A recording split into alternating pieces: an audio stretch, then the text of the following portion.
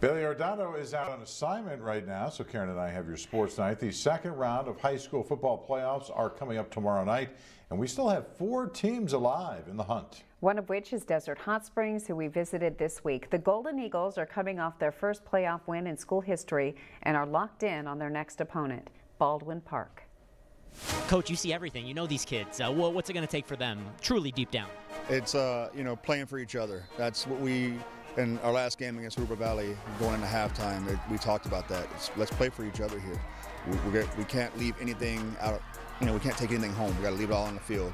So that's what we did, and that's what we're going to do going forward. It's it's just playing for each other, making sure that each each person knows that we have their back. They was excited. Everybody was like, "Oh, yep, let's get right. It's playoffs now." You know what I'm saying? We won that, took that dub, took that victory. So everybody was excited. Everybody coming in my class was talking about, "Oh, Jared, y'all doing y'all thing out there." We had a nice little celebration after Hooper Valley.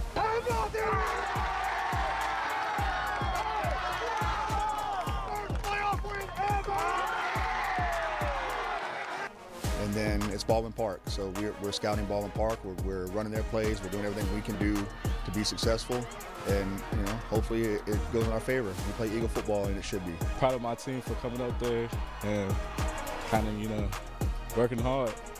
So we, like Coach said, we about to make the a change to this program. The mentality is we just gotta stay humble, consistent, and we don't need no mistakes because our mistakes kill us at the end of the at the end. Yeah, it's a winnable game. You know what I'm saying? We have to uh, we got to go out there, make sure we can communicating, make sure uh, no arguments on the field, make sure we all stay because these are my brothers, so we all got to stay. You know what I'm saying? Ready for anything that comes with it.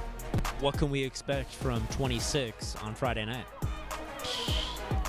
Hey, whatever my line capable of. I'm running that ball. I'll tell you that. New era, everything, Coach P just amazing to be here.